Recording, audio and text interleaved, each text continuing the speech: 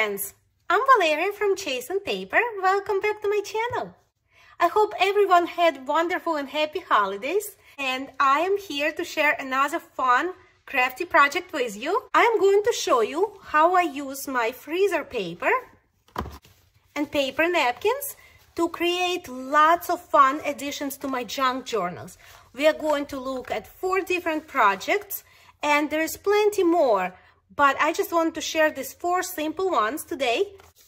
So I'm going to show you what I have here on my desk, but before we begin, please make sure to give this video a like and subscribe to my channel for more paper crafting ideas. Alright, so here we have a quick and easy policy envelope made with a paper napkin. This one's empty and you can put tons of goodies in there and it showcases your beautiful napkin really well. Here is another one.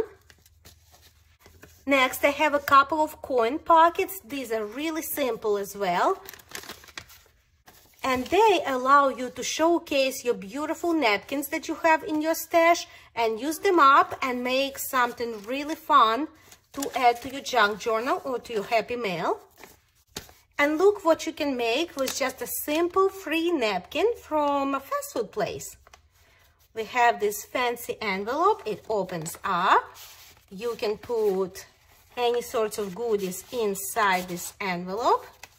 And the back is also very pretty.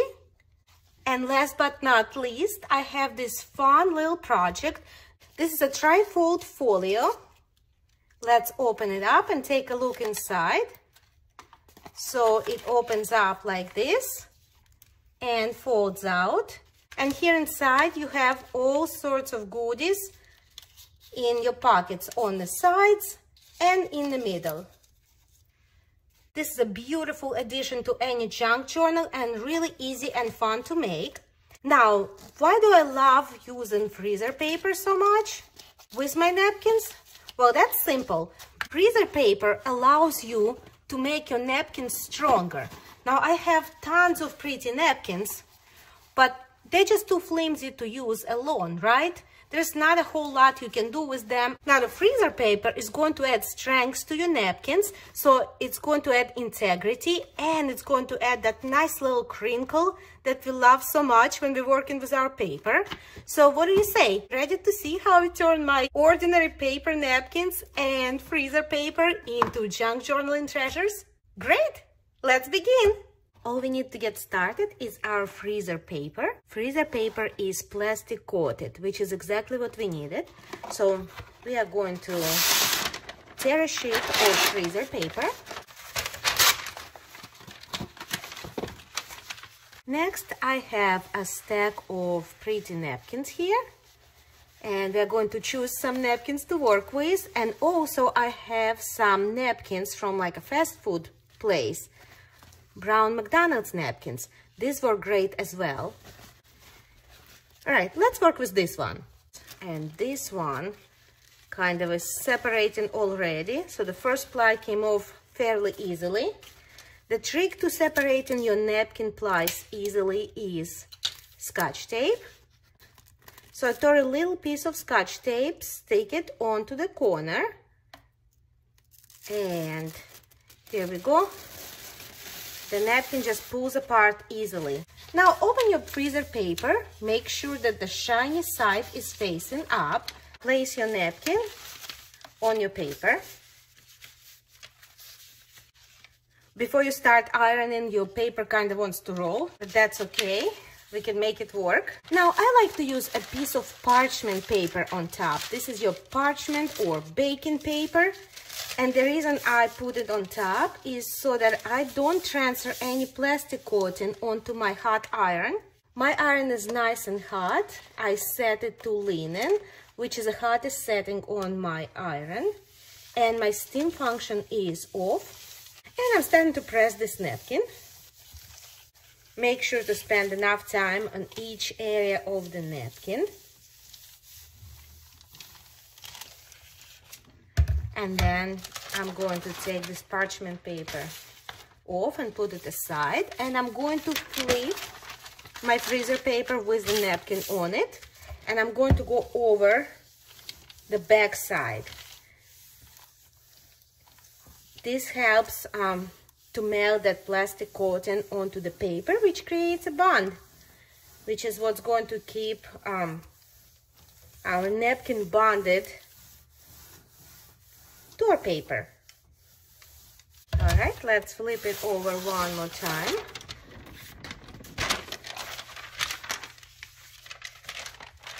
I'm gonna go over it one more time. I'm going to be really careful not to touch any freezer paper with my iron. And as you can see, this napkin is already bonded to the freezer paper. This is a really strong bond. Let's set it aside and let it cool. Meanwhile, let's do another napkin. And this time I'm going to work with this fast food brown napkin. So these napkins are usually really thin and they usually one ply. So you don't even have to separate it. Just open your freezer paper, shiny side up. This napkin is a little bit bigger than my freezer paper, but that's okay. I probably won't use the whole sheet for my project anyways, so I'm going to roll with it. Now let me protect my iron. with this parchment paper in between.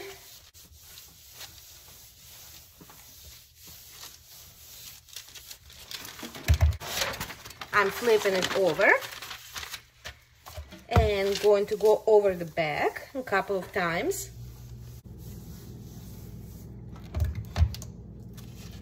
And I'm peeling it. I'm going to put it aside to cool. Now that my napkins are nice and cool and fully and completely attached to my freezer paper, I am going to go ahead and cut them out. So I'm just cutting along the edge of my napkin. So what we have now is our napkin that we began with but it's on the paper. It's a strong paper with a beautiful crinkly texture and just hear that sound. Oh, I just love it. Perfect texture, great look. What's not to like? Let's do the next one. So this napkin didn't exactly um, fit onto my piece of freezer paper, but that's okay. I'm just going to cut it roughly along the edge it's just going to be a little bit smaller than the original napkin. Here's our napkin.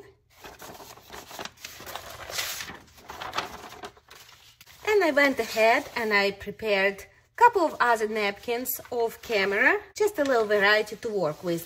And I recommend that if you work with your different napkins, you do the same you kind of want to press a bunch of napkins down so that you don't have to go back for each napkin and warm up your iron and do all that good stuff. So just make a bunch up and they're really easy to store along with your um, scrapbook and paper stash. Now, what can we do with all these pretty napkins? Well, there are tons of things you can do with them. At this point, this is a strong pattern paper and you can use it for any project but let's go ahead and try a couple. Let's start with the most simple one, which is a policy envelope. So for the size reference, this napkin measures about 10 inches by 10 inches. It's a square napkin. So I'm going to flip it over and fold the sides up to form a rectangle. There. and there. Now I'm going to go ahead and fold up the bottom like this.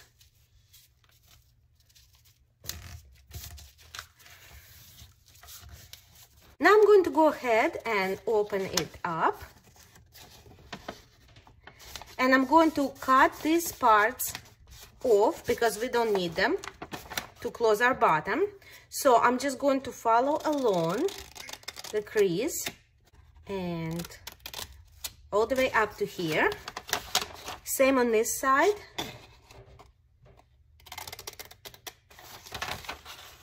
And down this way. And I'm going to cut little corners off here so it looks nicer when it's closed and folded. There, like that. Now I'm going to fold the top part of our policy envelope down. About this much, which is about two inches. Nice and sharp crease. And again, I'm going to cut out this piece right here and this piece because we don't need that.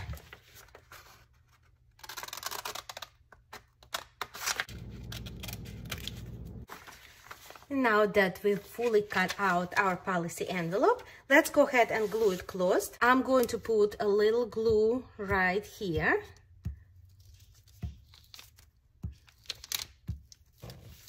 And flip it closed like that. And then I'm going to put some glue on the bottom. So this white part right here. And close it. And look at that, our envelope is coming together really nicely. And now I'm going to round the corners on this opening top flap. Now let's go ahead and add a closure. I'm going to use my one inch circle punch and this gold metallic cardstock. Now we gotta punch a hole in the middle I'm just using my Crop-A-Dile Big Bite to make a small little hole in the center. And that's mostly because I misplaced my handheld hole puncher, so I'm using this. And we got a little hole in the center. Now I want to find where I'm going to place this circle on my closure. And somewhere around here looks good, not too close to the edge. I don't want it sticking out. And I'm going to mark this hole. And I'm going to punch on my mark. And now I'm going to use a gold paper fastener I'm putting a circle right on top of that hole we just punched and placing my brad right inside and opening the prongs up flatten them out. And now I'm going to use some gold thread to add to the closure. So I'm going to tie it right here with a double knot. And now I am going to wrap it around the envelope just like that vertically and I'm gonna go around our circle and come down here and I'm going to snip the thread off right there and here's our policy envelope the back the front what a great addition to your junk journal, don't you think? Now let's look at our next napkin. For this kind of napkins, I like to make something smaller, like um, coin envelopes. Now, coin envelopes are really easy to make. I am going to use my coin envelope template, which I have a great tutorial for. Um, I'm going to link that video below in the description so that you can see it if you'd like. And so I'm going to place this template down. I want my bird to be visible, so I'm going to make sure to cover the bird. And I'm sort of sliding that template down just a little bit because I want to make sure I have enough room to make two coin envelopes out of this beautiful napkin so that we could use it up to the max. And I am tracing my template. And now I'm going to cut it out right on the lines that I traced.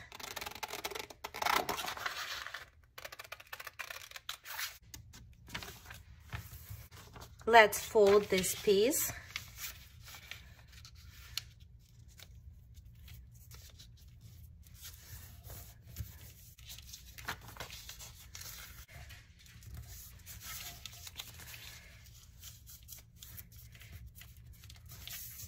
Going to put a little glue on the side flap and the bottom flap.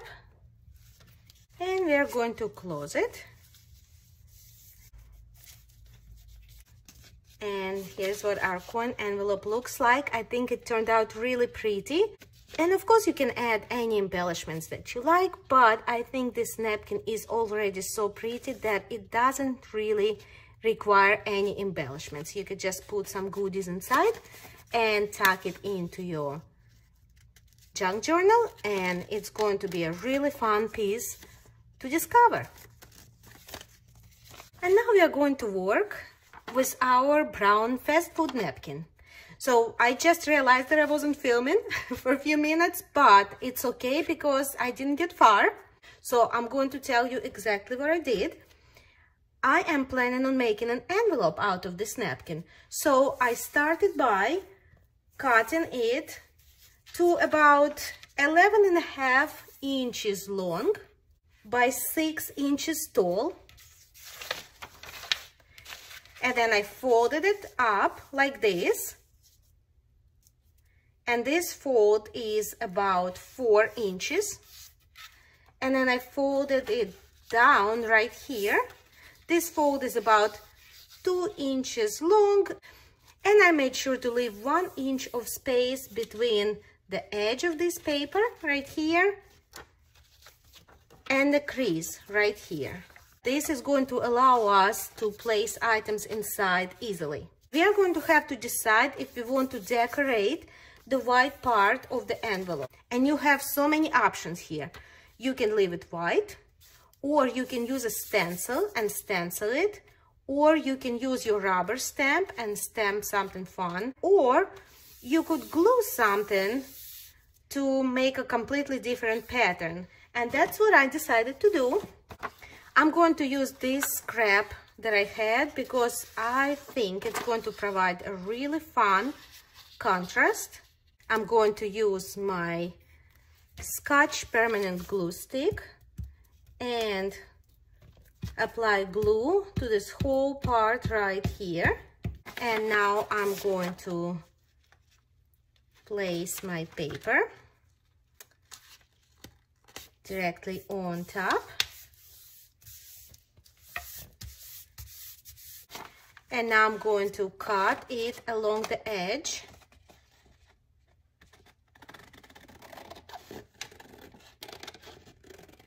And not only it's going to look pretty, it's going to strengthen our flap, which is the part that we're going to be opening and closing.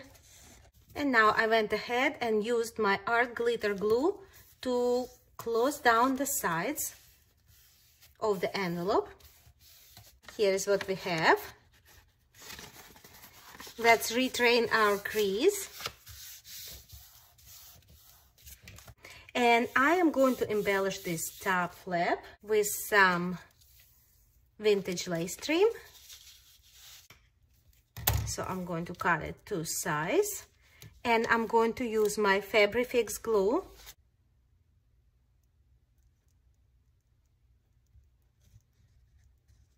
and now add in my trim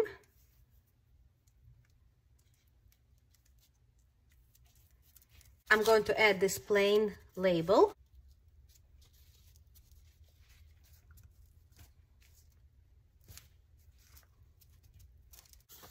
I'm going to add the same label to the back. And I'm going to layer that back label with a sticker. There. And now I'm going to add this fun little sticker to the front. Looks like this lady is calling someone. And I'm going to add a sticker to the top of our envelope right here. And here's our bag. And I'm going to add a couple of fake postage stamps to the back. All set. So here's the back of our envelope. And here's the front. And we can put something really fun inside, like this little vintage postcard. And another beautiful addition to your junk journal is done. Now for my next project, I'm going to use another non-directional napkin. And this napkin measures about 10 inches by 10 inches. And we are going to make cute little tri-fold folio. So I'm flipping it over and I'm starting folding it like this. Now I'm going to bring this side down. Now, let's open it up and fold right and left sides inwards. And these folds are going to be about um, two and a half inches wide. So like this on this side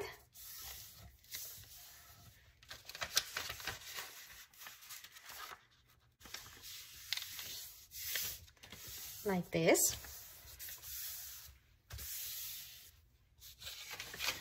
There. Now we are going to cut out all the pieces that we don't need, which is this little rectangle, this one, this little square, and this little square right here right so all these areas are going to be cut out. And I'm going to cut them out carefully. Just following my creases.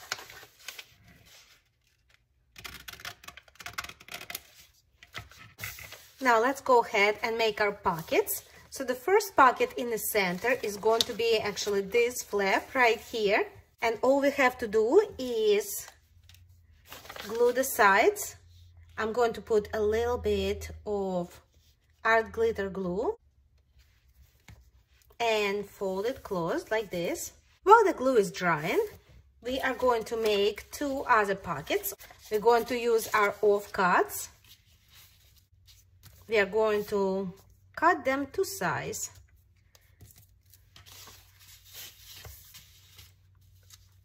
To make them shorter, to make them exactly the same size as that first pocket.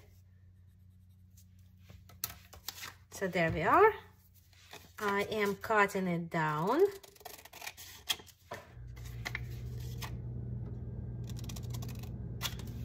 So now I cut out two little pieces of paper to go right here to create our side pockets and technically I would be ready to glue them down and make them into pockets but I decided that I don't love the look of all this white paper here and I'm going to add some flower stickers. They're going to be sort of peeking out from inside the pockets. There.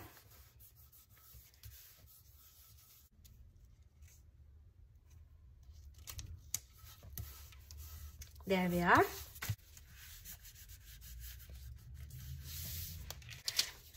Now we're pretty much ready to add these pockets, but I decided I want to decorate the top of all three pockets with washi tape.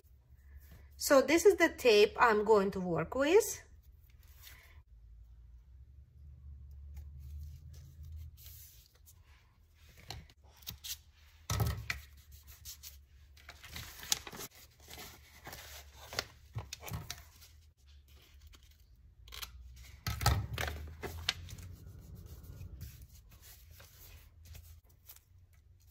So I'm adding my washi tape along the edge.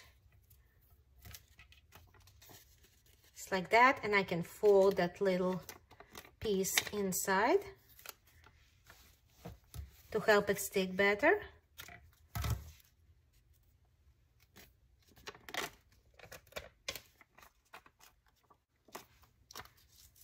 There. Now I'm ready to glue these pockets down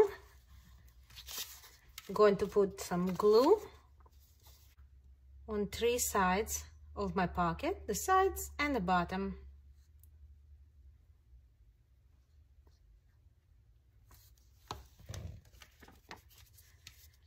And I'm placing it down.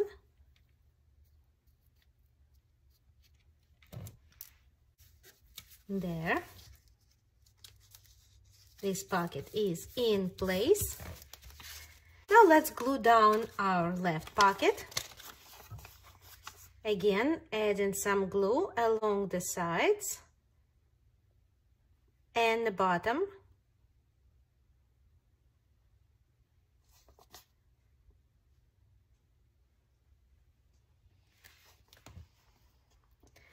And gluing it down.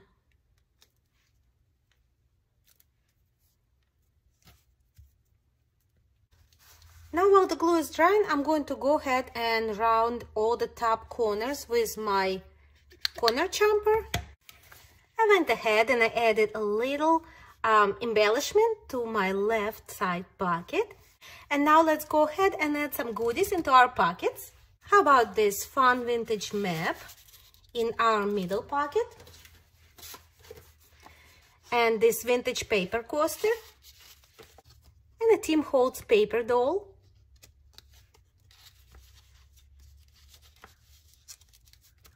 We're going to add this pretty butterfly card into our right side pocket, right here.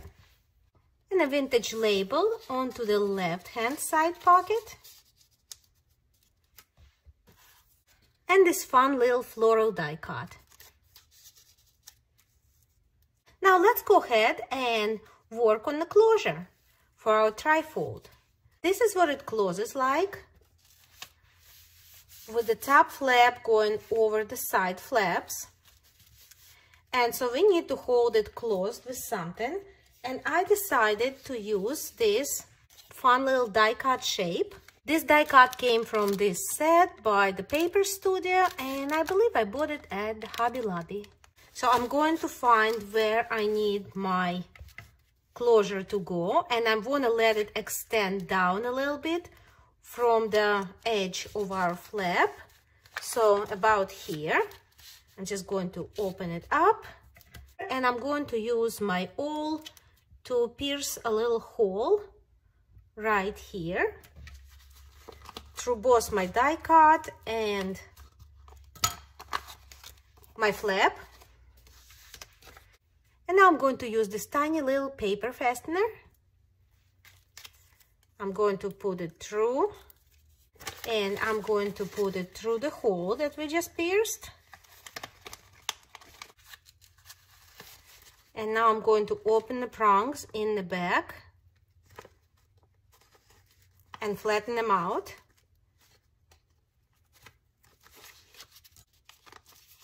That is the closure. And I'm going to use this twine to finish the closure off. So I'm going to go in and tie two knots to make sure it stays there, right over left, and then left over right. Now I'm going to make this end a little bit shorter. And I'm going to wrap this end once around my shape and let it hang like this and cut it right here. And there it is. Our trifold folder is finished. And so there we are my friends. We made four different types of fun add-ons for your junk journals all by using the freezer paper and napkins. If you like this video please make sure to give it a thumbs up subscribe to my channel and make sure to share this video with your crafty friends. Thank you so much for spending time with me today and I'll see you next time.